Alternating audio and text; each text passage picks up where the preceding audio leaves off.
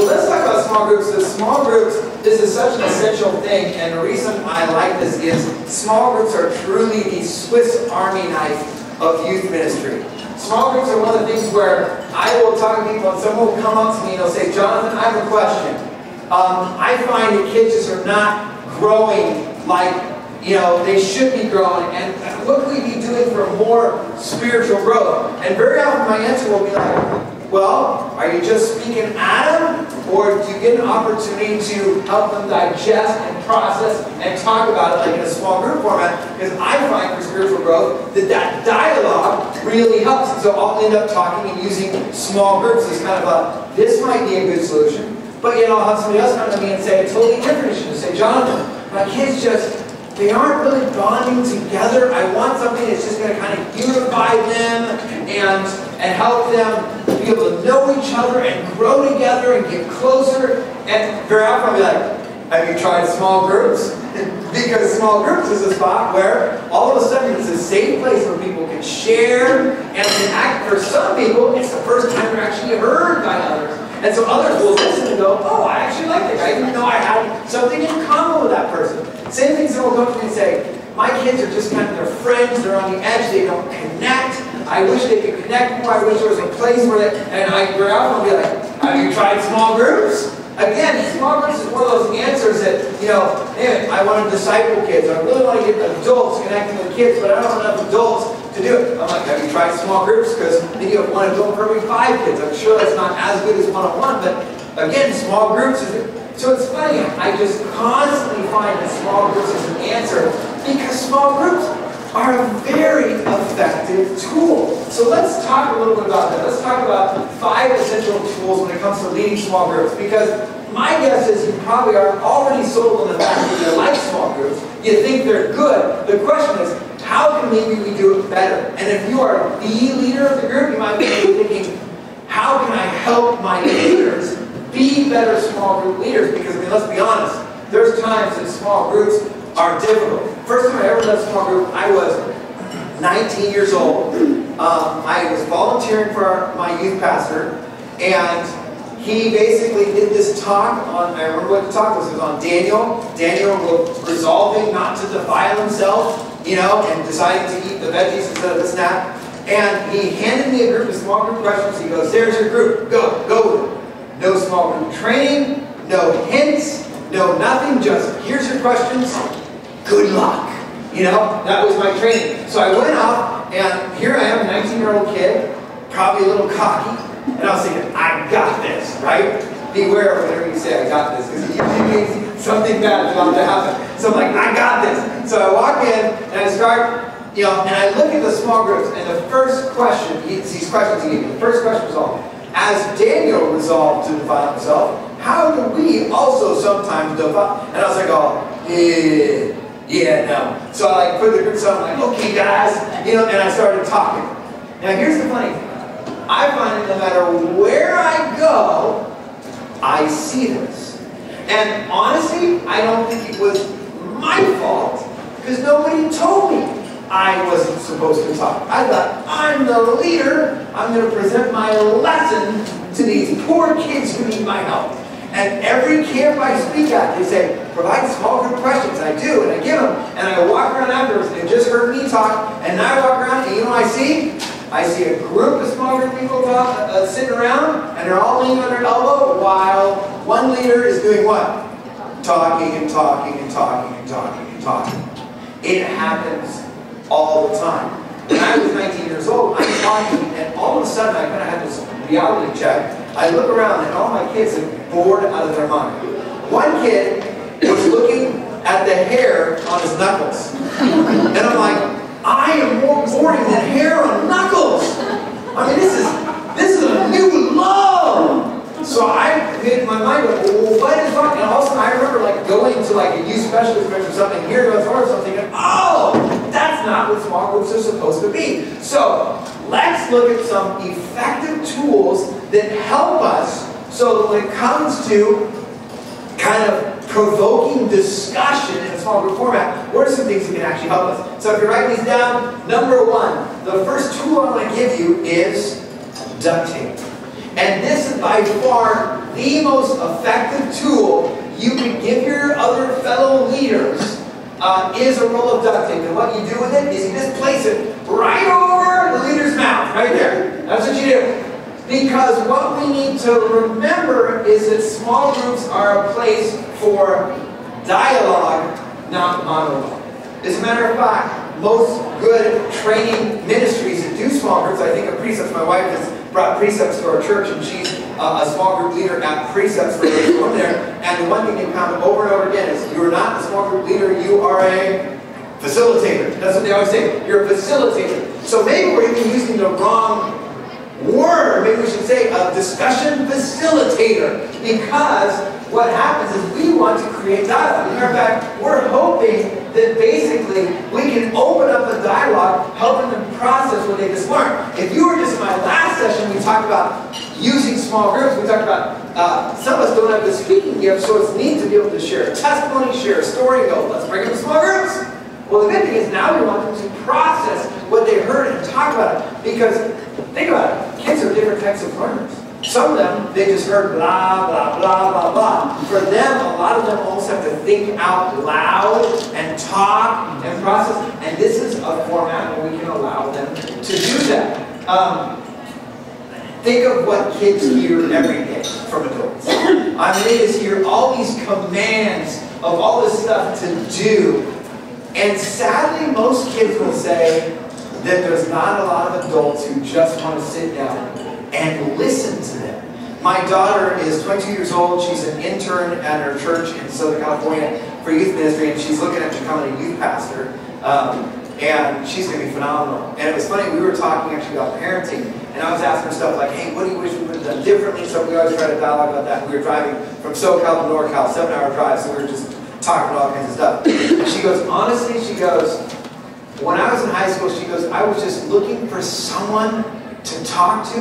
And she goes, you mom great. I mean, I knew I could talk to you, but she goes, you know, there's some things that you like scared to tell your parents. And she goes, the first time she names her youth pastor's wife, uh, uh, the, the youth pastor's wife, she goes, when she connected with me, she goes, I probably scared her to death because I was just like, she goes, I was so happy to have someone that took an interest in me and was ready to listen to me. And she goes, I know the young people have got to feel like the way I did. And she goes, and I want to be that for young people today.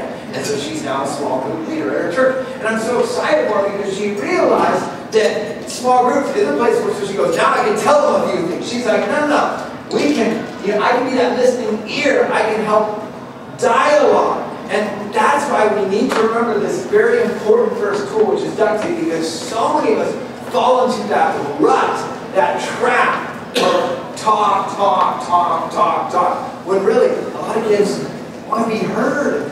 They don't want to do any more listening, especially because most small groups are usually after they already sat through one talk. Now they're like, now another talk. Oh my goodness, you know? And they already have this short attention span. So remember this tool of duct tape. But I also like tool number two, and tool number two is what I call the conch.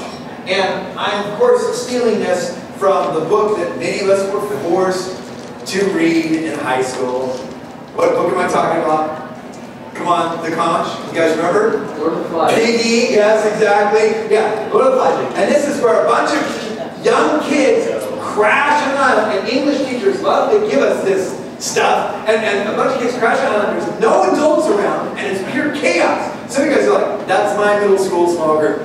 Pure chaos. It's Lord of the Flies. Literally, just crazy. Well, maybe you want the conch. And maybe your leaders want the conch. What the conch is, is in the book. Finally, a kid picked up the conch and said, okay, this is too chaotic. Whoever has the conch speaks. And literally, they would pass the conch, and whoever wanted to talk had to have the conch in their hand. Well, with middle school groups, you could do that. All we're talking about is giving everybody a chance to speak. We're giving everyone, not just the leader, but everyone a chance to speak. Um, so think of what that looks like in your group. Maybe you're one of those small groups that's in a living room. By the way, some people always ask me, well, Jonathan, what is a small group? Is a small group something at the church that's like a cell group where you go it's someone's house and that's, that's an official small group? We're one training I went. Or is it, what if we're, you know, just doing a youth group talk and we divide into groups real quick? Is that a small group? Or what if we go to the church, we start, and then we meet for an hour and divide, and You guys, all those can be small groups. Small groups is usually a, a time to get together, process something, get to know each other a little better, give everybody a chance to be heard. So it's a loose definition. People always say, Jonathan, what's the perfect small group size? I think it's good in single digits. Once you get into double digits, the bigger it is, the less intimate it is. I think the perfect small group is five to eight kids. I love it nice and small because kids are more open to share because the more kids you have, the more chance there's some kid that makes them feel a little bit pressured or silenced or whatever. So if you're in that format, whatever it looks like, we need to somehow give everyone a chance to be heard. And the conch does that so effectively because basically the conch is something as simple as maybe with middle school kids, it's having a physical, like Nerf football guys, and say, okay, I've got the Nerf football. Whoever's got the football speaks. If you don't have the football, you don't speak. I'm going to start. Uh, let's all share our name and our favorite kind of pizza. I'm Jonathan, and Giordano's is by far the best, yes. no matter how good Lou Malnati's and Gino's is. Okay, next. You know, and you go over there, and, then, and the next person goes, oh, okay, I'm Brian, and uh, definitely the Taco Bell Ultra Chorito, Inchorito, Burrito, Burrito, Supreme, you know, Supreme with extra cheese. You know, all right, good, Brian, good, next person. And you pass this thing on. You don't have to do that. You don't actually have to have a physical conch, but you want something that creates order. Um, and it's basically, one of the things this really does is this keeps that one teenager who is always monopolizing the conversation and talks so much, it keeps their big yapper shut. And more importantly, it gives that one kid who never gets a chance to talk an opportunity to be heard. I had this kid in my small group, his name was Tim. I'd never heard his voice before. I had literally never heard this kid's voice. He was this little tiny kid, and finally spoke for the first time. I'm like, and Tim, what's your name and favorite kind of pizza? And he goes, uh, thank you. I'm Tim. And I'm like, thank you, Scotty McCreery. I mean, he's like, you know, he's like, oh, Tim, you know, with this and we're like, oh my gosh. And it was the first time, I think everybody was like, he speaks, you know? Because, and it's sad if you think about it, but very often, we're in groups where certain people just kind of, you know, maintain control. This gives us an opportunity to do that and, uh, and, and gives them an opportunity to be heard. Um, what, so if you don't use a physical conch, one thing you can use to create this order would be rules. Um, I actually, with middle school kids, often would have small group rules. And I'd say, hey, I only got two rules. Rule number one, only one person talks at a time. And rule number two, don't be a turd. Literally, I've, I've been having these rules for the last 15 years. Um, and uh, that covers it right there. I want people to know that when one hey, hey, hey, Brian, Brian, Tim's talking. Note the booming voice. You know? Okay, good, good. And if somebody's all like, oh, that's stupid, whatever. Hey, you're being a turd. Don't be a turd, right? You know?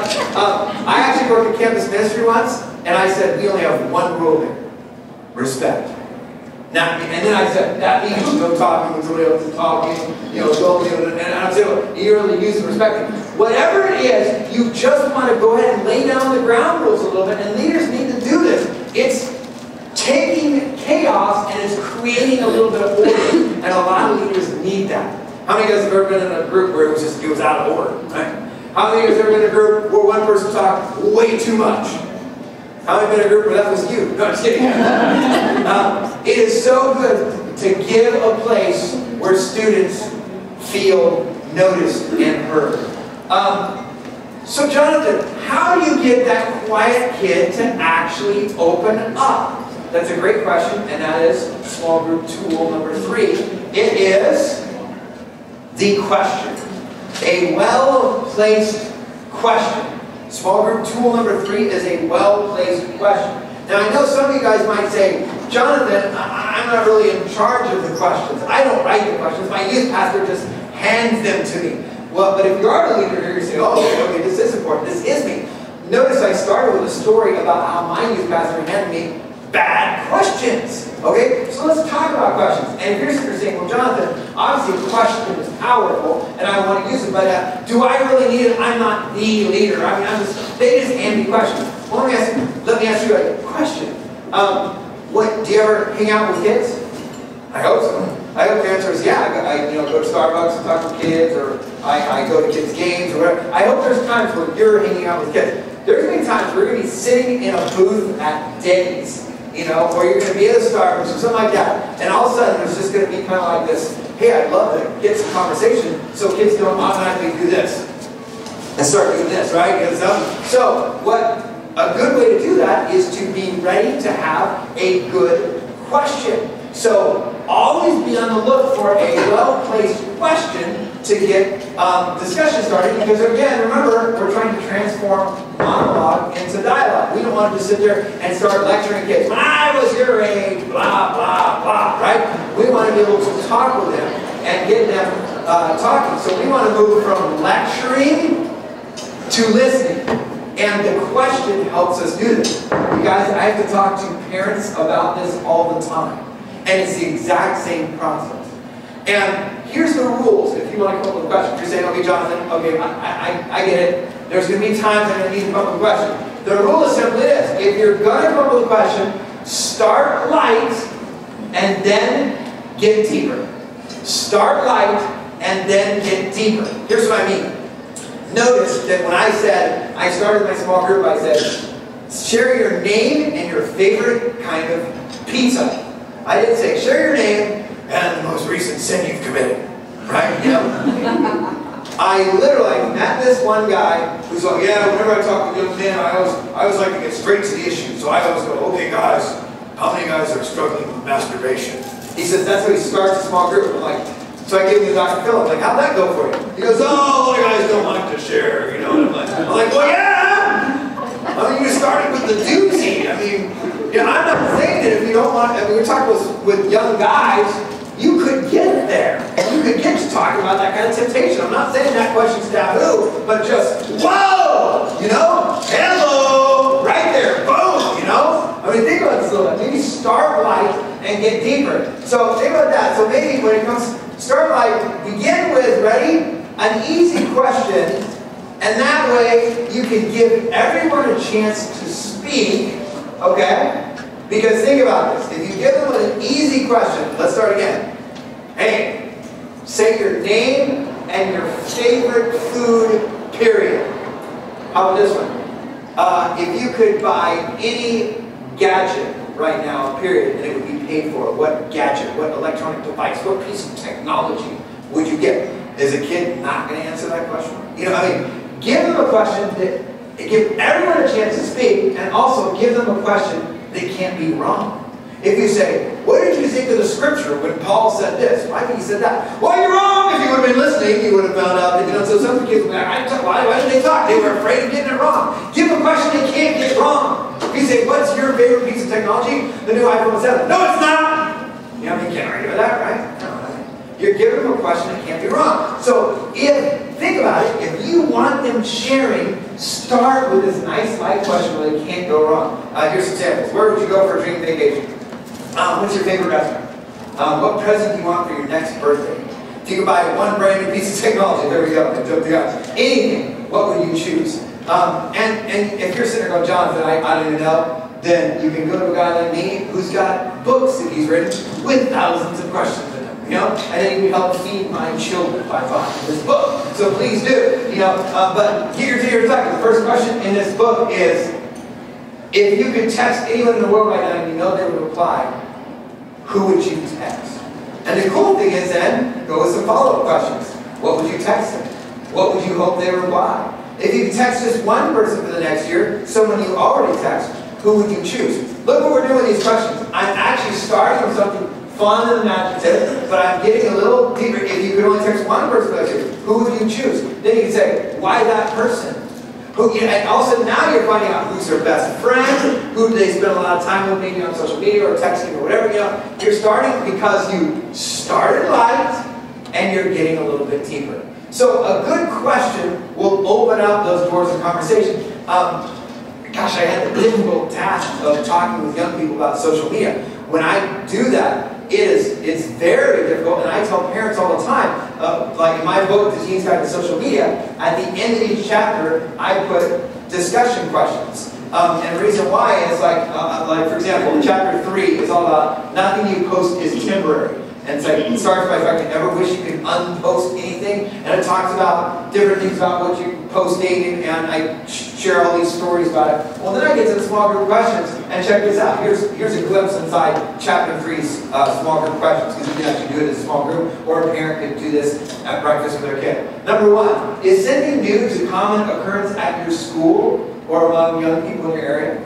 Notice how I start with, hey, is this something you've seen other people do? I didn't start with, do you ever send inappropriate pictures? You know, you know, that might be where we're going. As a matter of fact, number nine, do you need to make any adjustments in what you post?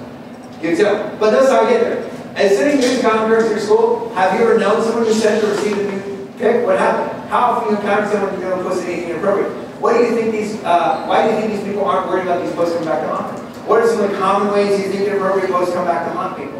What advice does Peter give in this, and there's a scripture we just went through, about how we should live our lives? What does an honorable life, according to scripture, look like in social media today? We're getting into the scripture.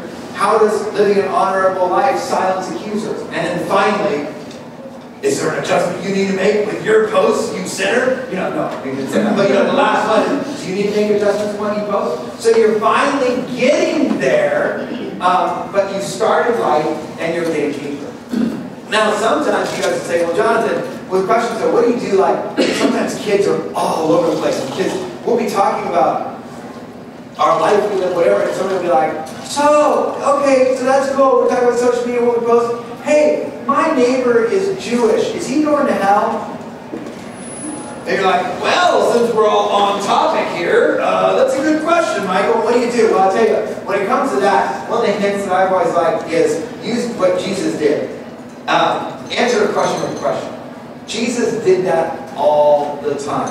And sometimes if I'm stumped as a parent, I'll be like, well, what do you think? Or Jesus would say this, what do the scriptures say? Remember? You know, who is my neighbor? Well, what do the scriptures say? You know, or uh, remember the rich young ruler came up and said, uh, how can I in, uh, how can I inherit eternal life? I think were his words, depending on the verse. And Jesus goes, well, what's the Bible say?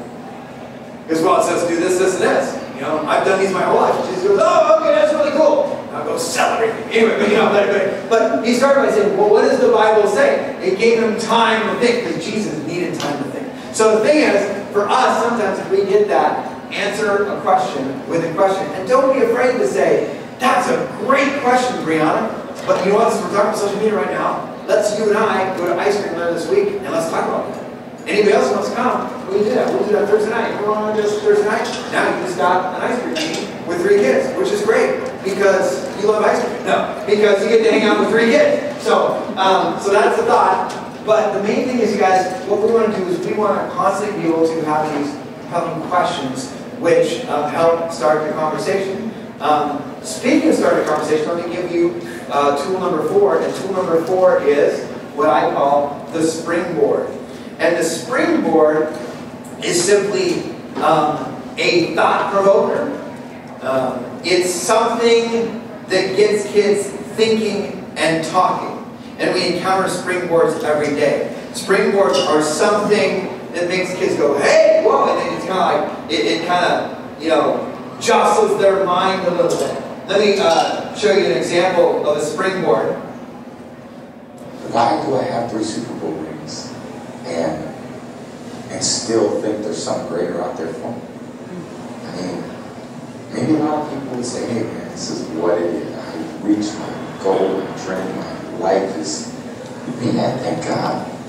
It's got to be more than this. What's the answer? Wish I knew. Wish I knew. Now, I'll tell you, when I encountered that, which was like about 16 Super Bowl rings ago, um, the, uh, you know, I remember thinking, wow, the devil himself is actually interested. No, I'm just kidding. No, I remember thinking that, uh, sorry, I'm a Broncos fan. Uh, the, uh, you know, when I saw that, I was like, wow. I, there's so many times where you'll hear a celebrity say something about like, that they're looking for an answer. And if they only know, if they could only find it. And I love when they see something like that, those are great things to show and then um, start a conversation with it. Because he's talking about, I mean, think about that. He goes, if I have all these rings, everything's been great for me, I married a you know, supermodel, and yet I still feel like there's something missing. Dun, dun, dun. Who were just in the, uh, the talk session I did. Well, let me share with you Matthew 7, this story about a guy who built his house on the rock, you know, anywhere, and you could go right there, you know. But great um, kind of thought from a great, great, um, uh, you know, springboard for discussion. Don't be afraid to use something controversial. Um, research actually shows that if we never stretch our kids' minds, that they are actually less resistant um, to drugs and alcohol and making good decisions. We're just always like, just because I said so, as parents. Um, and I've seen that research it's kind of crazy. They're saying disagree with your uh, disagreeing with teens help prepare them for the real world. So if your teenager actually says, "Well, I don't know, I, I, I don't know if I necessarily agree with that," if parents are constantly like, "Well, you better agree with everything I said," you know, um, it'd be better to say, "Well, good, state your opinion. What do you think?" You know, and be able to ask that. So there's times where we can sometimes throw out something and ask them what they think. I'll give you an example. Um, I was driving down the road with my daughters, and I had just seen a couple years ago this guy on Facebook who was his dad who was so upset with his daughter because his daughter posted some bad stuff about the family on Facebook that this dad decided that he would solve it his own way. So he hacks into his daughter's Facebook account and he posts a video. Uh, here's just a snippet of that video. Ridiculous. Not disrespectful to me, your mother, your stepmother, your family, your friends, and yourself.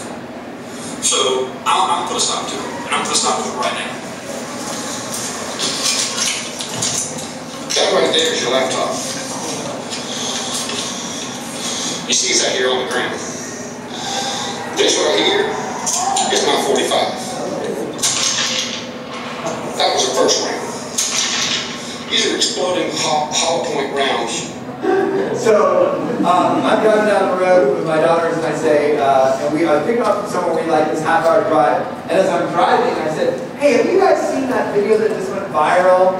Um, that's of the dad who got upset with his daughter because his daughter posted something, so he got mad and he pulls it down. They're like, no, no, no, no, no. And Ashley immediately, my younger, she's all, oh, I got it, I got it right here. I mean, I'm just from what I, my description, she's all, yes, redneck dad gets mad shoots her Boom! And so she plugs it into the car's audio, and we're driving down in our little Nissan Sentra. It's plugged in, and we're all listening into it now throughout the Sentra speakers, and we're all listening, and the girls are laughing. And when it gets that, they're laughing. So the laughing all ends, and I said the most brilliant thing I've ever said in my life. Yeah, it was by accident. But I said three words. When it was done, I said, was he right? That's all I said.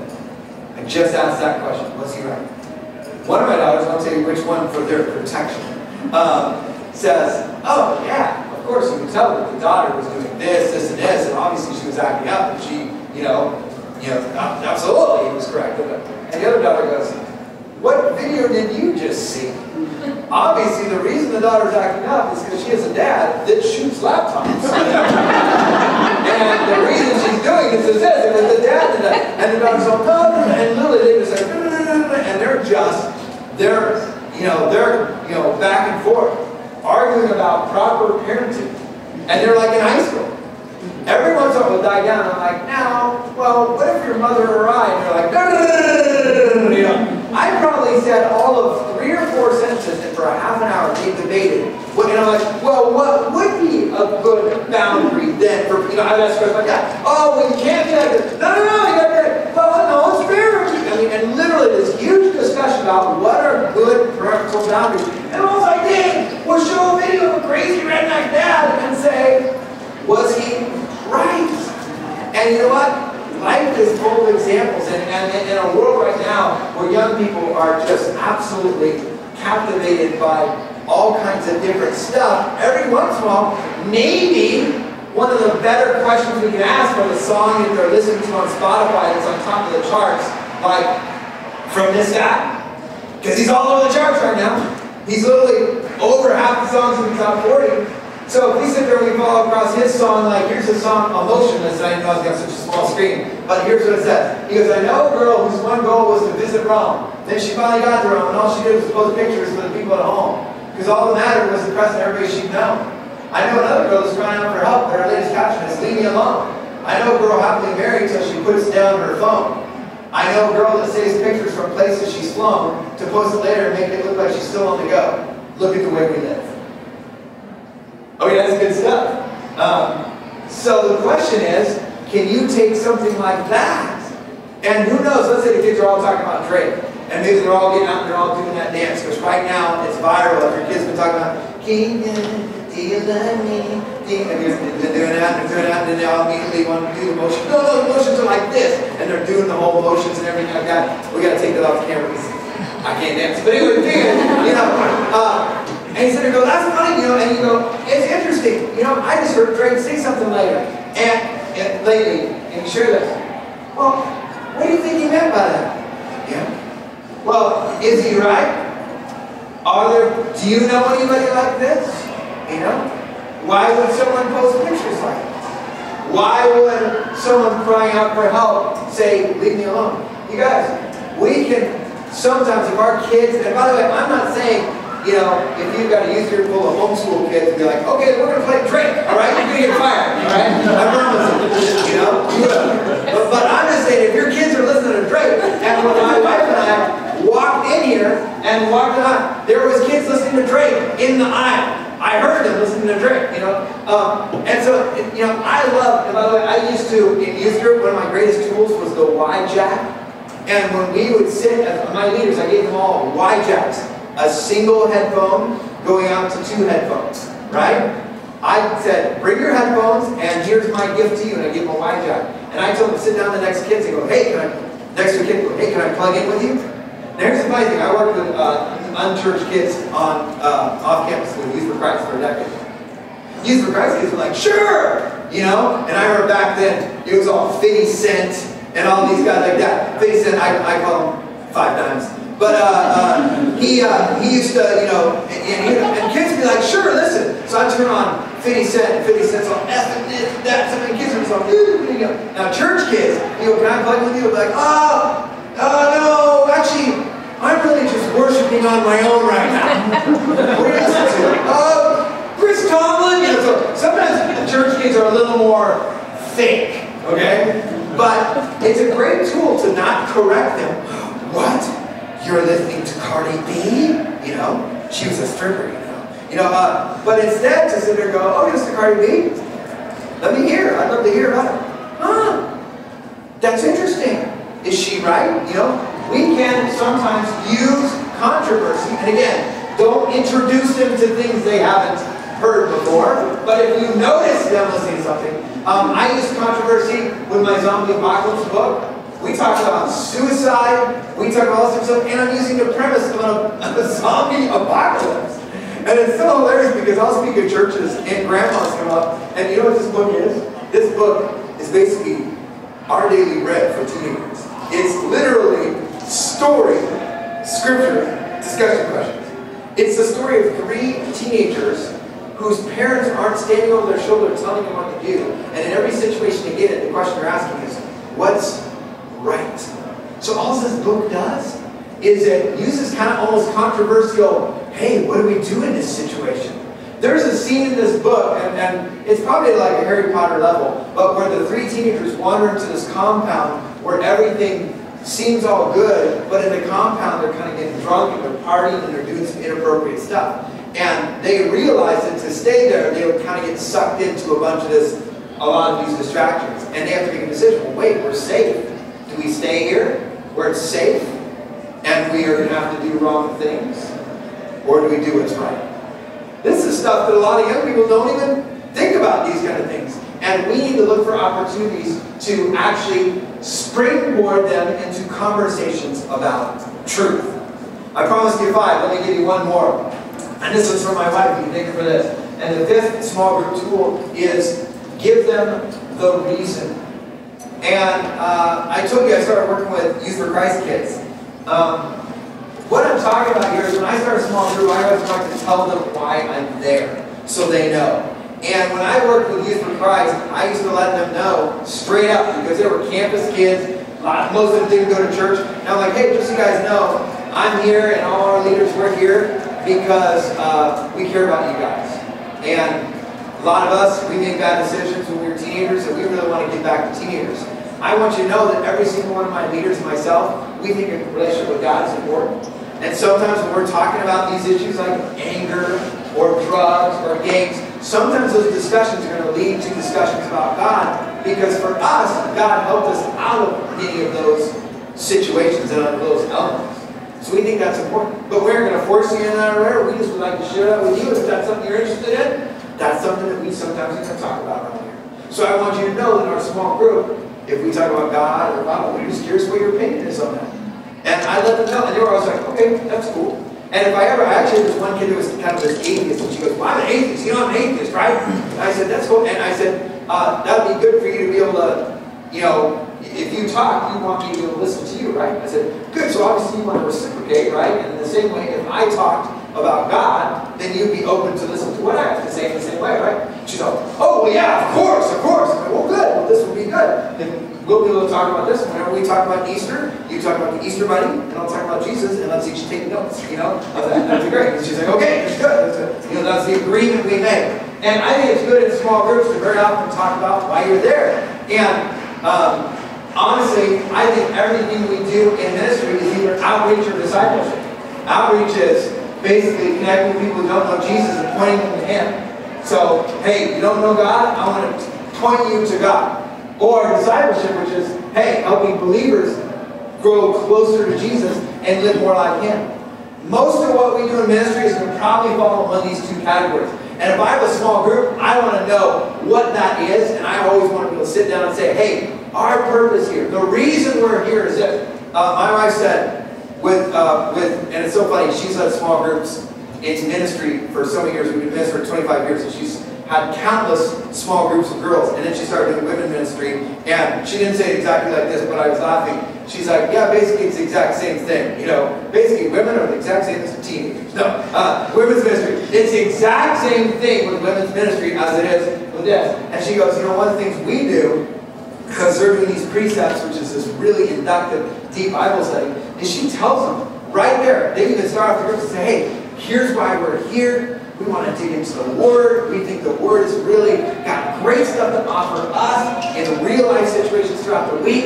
And so we think that this is some of those answers that maybe you're looking for. And, and let's pray, let's pray that God, you know, leads us through this so it'll be from Him, not from us, as we open His Word this week. She always starts off with the reason. And I think it's great in small groups to start off with that reason and let them know um, exactly what that is. Um, I want to open this up and for questions, just so you guys know, um, if you guys ever uh, are looking for someone, I do more workshops um, because we're leaving as soon as the session is done. Um, if you're ever looking to bring um, a seminar to your church, I do these parenting the smartphone generation workshops. Um, if you want to get a sample, we talk about I'm actually going to be on uh, the day my bully bullying book comes out, which I think November 1st. I'm going to focus on family, so you could uh, have your pastor listen on there as I'm being interviewed about that, and I've been on past shows or whatever too. They can get a sample of what that is. We do workshops for parents. We also do workshops for young people. This Four Conversations workshop is much like the one I talked to young people this morning, but this is parents and teenagers in the same room, and we try to get them talking together about the friends you're friending, the picture posting, the screen time you're absorbing, the affirmation you're thinking. So I do these workshops as well. Um, and then I also have some books over here. Um, you can jump on Amazon, and Amazon, depending on the day, sometimes has cheaper, expensive, whatever. I don't mind you guys buying on Amazon. I think the books I had over there, half of them Amazon had better, half of them I had better, so it kind of almost evened out. But you can jump on the Amazon page. My bullying book comes out November 1, so if you want to jump on there, um, that's all about, uh, basically it's the premise of kids are either bullied, the bully, or a bystander. Which kid is yours? And uh, talking about what we can do to help those kids. Um, I've also got that book with all the questions over there. I've got the book that helps uh, you talk to young people about sex. I've got this book that was for parents, but a lot of youth workers like it because it's about opening up arenas of conversations with kids who can't stop staring at their devices. Called 52 Ways to Connect with Your Smartphone Kid. Um, so that would be a mentor pack. I sold two of the books already, so I've got those three that I'm selling for 30 bucks. Um, I've got kids books for young people too, like this Teen Guide to Social Media, um, the Zombie Apocalypse Survival Guide, uh, the Guy's Guide, which is a book for guys, to God, girls, and phone in your pocket, and Sex Matters, and I've got that pack for just 30 bucks. Basically, you get the Sex Matters book for free. So if you want those, I've got those. Uh, questions, we finished, we flew through because I want to get on time. We're supposed to be out at 1.30. Sometimes you guys can learn the most from each other. So we got five minutes left. I encourage you to hang just for a bit. Any questions about this leading small groups, um, getting kids talking, technology, my dog Lionel Richie, um, my cat Smokey Robinson, anything, any questions? I actually do like dogs and cats. You wouldn't know that from the last session. No, questions? Anything? How much do you charge for a workshop? Come talk with us because it depends where you live. If it's across the country, it's more because it takes me a day to get there, day to, a day to get back. If you're in California, I go, so, but come talk to us. Cheaper than the other guys that speak where I speak, more expensive than the youth pastor down the street that'll do it for free.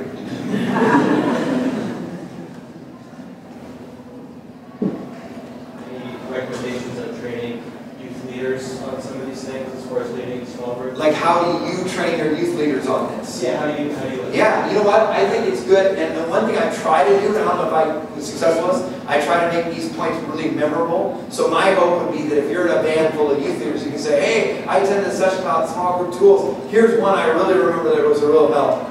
The duct tape. And here's what he said. Boom, and you share that one or something like that. You know, and you might even remember the conch too, because for a lot of youth leaders, that's that's oh, I could use some. I just never know what to do. Is it okay to have rules, or is, is it okay to use and and maybe something like the duct tape or the conch would be something we just share and go, I just learned, and you know, I would do with them. I'd go, so he just shared this, and he said this is a good tool. I don't know, is he right? Would this work? Would this help you? You know, and ask and see what they say. Because then also now you're using controversy, you know, you're asking them a question and see if they think it would be helpful to actually get them talking. But yeah, I think it's great if we got our youth leaders to especially know they don't have to talk all the time. They're a facilitator. I think we could use different, uh, you know, names. I mean, I think it wouldn't be bad semantically to, to call it, just, you're a small group facilitator. And let them know, you don't have to talk. We just want you to be able to ask these questions and get the conversation happening. Good, good question. Yes? I'm curious, how many are trained in facilitation of youth pastors? Uh-huh. And if you're recommending resources for like professional facilitation training? No, that's interesting. I mean, I know that, like, for example, Precepts actually spends a lot of time talking about preparing their Precept leaders. As for small groups, Youth Specialties, use it's so funny, YS changes so often and they got new ownership again. It's actually nice, Josh and Doug are gonna, at the helm now, along with Orange. So this session, this one will be interesting to see, but they usually have a session or two on small groups. It would be one like this. I don't know if there's one particularly, here's facilitator training and how to do it. I really don't know. That's a good question though. Uh, if anybody knows someone, talk to them about that because that, that's very interesting. I, I don't know. We've been through. Yeah, yeah, yeah. They're not Christian related or anything. Yeah, yeah, no, I, I think it's a good thing to, uh, I mean, I think there's some real basics of some of the stuff we talked about. Knowing you don't have to talk, using questions, letting one person talk at a time, that kind of stuff, I think that really helps. Because I'll tell you, name it, women's ministry, men's ministry, whatever, you often will have the one guy who's a big talker, the one person who wants to talk but never gets a chance to talk, so it's really neat to be able to kind of set those ground rules. It's hard to actually. It, it is, and I think with adult, I think with adults it can be harder because with kids there's almost an implied authority, you know. So it's interesting with campus ministry kids for sure, because kids look at you like, I can stab you. You're like, oh, okay, yeah, that's true, that's true, could. All right, what else? Other questions? I got a question. How was lunch? Was it good? It looked good. As I sat there and watched you all eat it. No, I'm just kidding. One question is, how do you redirect kids, like if they set the rules or you set the rules and then you're right in the middle and even after calling them out, they still want to go on, any suggestions? Yeah, yeah, no, that's a great question. How do you handle that tough kid who actually is still talking? Um, I think it's nice. I always say with middle school ministry, it's always nice we have two small group leaders, so one can actually go, "Kitty, come with me," and they're like, kind of do the take them aside. The answer to any question I have with any kid with disciplinary issues is always meet with that kid one-on-one. Because meet with a kid one-on-one is always so powerful. And if you went and said to Kenny, or in your case, Brianna, hey Brianna, I could use your help. Is that her name? No, just kidding. It's hundred. Oh, maybe that's what. Yeah. yeah. okay, okay, Kelly. So you go, Kelly, I need your help. Yeah, uh, and say, I, I really, you know, my goal is to try to get, there's people in that group, I, you know, you even interview, who just don't get often a chance to talk. And I'd love it for you and me, who are natural talkers, to not talk as much and give her a chance. So I'm really going to count on you to not do it. And if she's still after that time, do your best to, hey, hey, Kelly, you know, Sabrina was talking, you know, and if she's just out of hand, you got to go, Kelly, I I asked you nicely last time, and you pull her aside and say, I, I'm going to have to ask you not to come if you continue to do that. Because if one kid makes it awkward so eight other kids or, you know, five other kids can't talk, do. But handle one-on-one really nicely, you know, get through the group the first time. Maybe, hey, hey, remember, she's talking. Remember, don't be, you're being a turd. You smell like a turd right now. You know, so stop. You know, and, and do that a little bit, but then talk with one-on-one, see if that works. Does that help a little bit? How many of you guys had to do that before? So It's tough, huh? But you know what's cool? Sometimes those one-on-one times actually pay off. Sometimes, of fact, sadly, some kids act out because they want attention.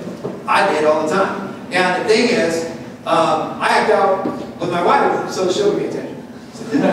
so, so the thing is, know, um, so you can use, know the kids are using that, and kids do want to meet one-on-one, and that's a powerful ministry tool.